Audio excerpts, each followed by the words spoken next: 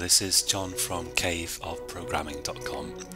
This is tutorial number 7 in the series of beginners Java tutorials and in this tutorial we're going to look at getting user input. So I've got my main program here. I've got a, uh, a main method inside a class and I'm going to use the scanner class to get user input. Um, now the scanner class looks like this. So you've already seen the string class. Um, this is scanner and I'm going to create a variable that can refer to a um, an object of type scanner. So I'm going to call it input. So input is um, um, an arbitrary variable name. I could call that um, anything I like. I could call it nut if I wanted to. It makes no difference. But I'll call this input. And um, the reason I'm getting an error here at the moment is because I need a statement at the top of the class file that um, imports the scanner class so that uh, my program knows where to find it.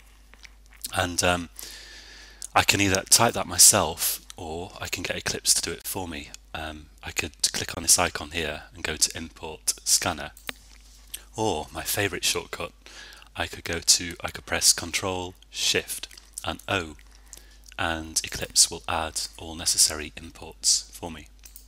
So I've got this import statement here which must be the first line in your file except that you could have a package statement on the first line but um, we'll look at that in the future. Okay so I've got a variable here but I haven't actually got a scanner object. This doesn't actually refer to anything.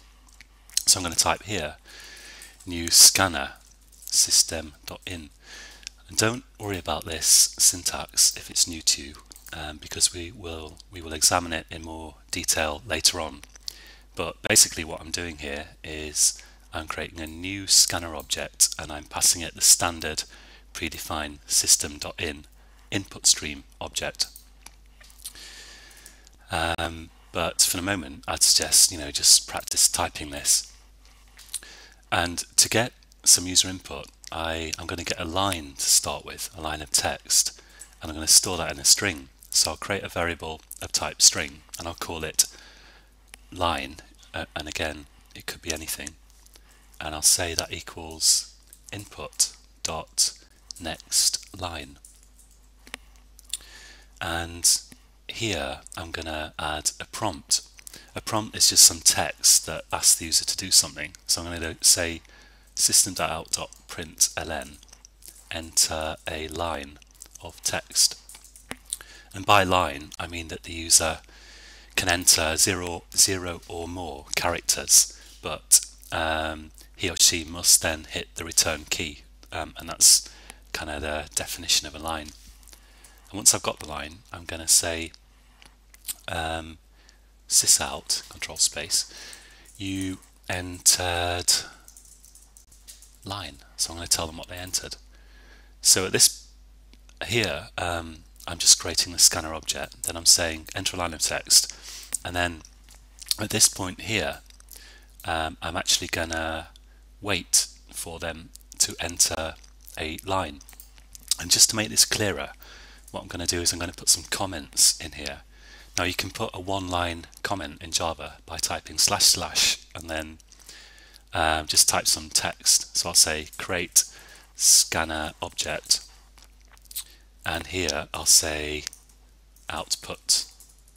Output the prompt. And here I'll say um, wait wait for the user to enter a line of text. And then here I'll say tell um, tell them what they entered. So I'll run this program and it says enter a line of text and I can enter anything here. My name is John. You entered, my name is John. Now we're not restricted to getting um, just lines of text with um, scanner. For example, I could get a number. I could say enter an integer, which means a whole number and I could say instead of string line here I put to wait for the user to enter something.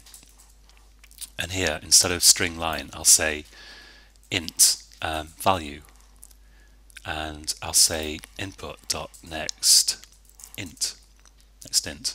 And if you if you type um, the first few letters of something in Eclipse and press Control Space, you get this autocomplete um, pop up, and you can accept. You can scroll between different defaults with the arrow keys or the mouse, and you can accept um, a suggestion by pressing Enter, which is really handy. But sometimes you need to get rid of extra brackets if you've already typed some. Okay, and here I'll say you entered value. And if I run that, enter an integer, 88, you entered 88. Um, this program um, unfortunately isn't very robust because if I run it and I enter letters instead of an integer, it will crash. But at least it has crashed in a controlled way by throwing something called an exception, which we'll look at in future. Um, and I can also get a floating point value. I could say enter a enter a floating point value. In other words, um, a fractional value with a decimal point, and I can say double value equals um, input dot next double. And I can say you entered value again. There's a, there's a little complication here um, because if you're in the UK or the USA, for floating point values, you'll be used to typing things like uh, 67, 77.4. But if you are in um, somewhere in Europe outside the UK, um, you will be used to using a comma instead. So you'll say 77 comma 4. And um, I'm using a actually a Dutch version of Windows here.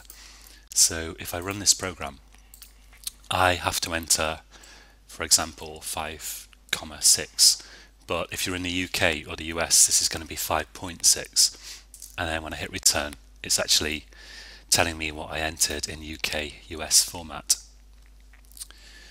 Okay um, that's all for this tutorial just about.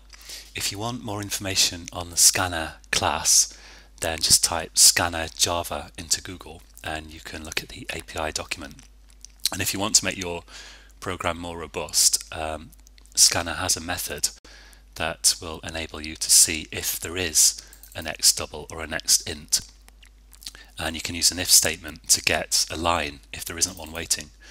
But I will leave that as an exercise for you. And in the next tutorial, we are going to look at do while loops, which is just a variation on the while loop. And until then, happy coding.